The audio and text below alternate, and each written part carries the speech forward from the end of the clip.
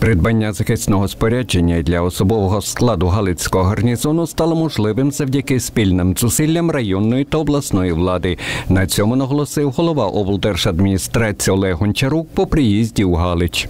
Хочу замітити, що сьогодні е, ці костюми ми мали субвенцію з районного бюджету до державного бюджету, і ці костюми були закуплені е, по системі Прозоро, що дало можливість 20 тисяч гривень навіть вернути назад е, до районного бюджету. Придбане на ці кошти спорядження повністю відповідає європейським стандартам і слугуватиме для ліквідації пожеж різного рівня складності та їх наслідків на території Галицького району. Е, змогу особовому складу більш якісніше гасити пожежі і ліквідовувати надзвичайні ситуації. А основне, що особовий склад буде захищений від дії небезпечних факторів пожежі.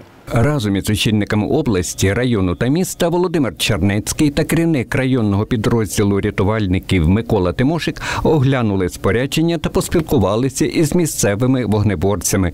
На завершення церемонії рятувальне спорядження освятили священники двох найбільших у місті конфесій.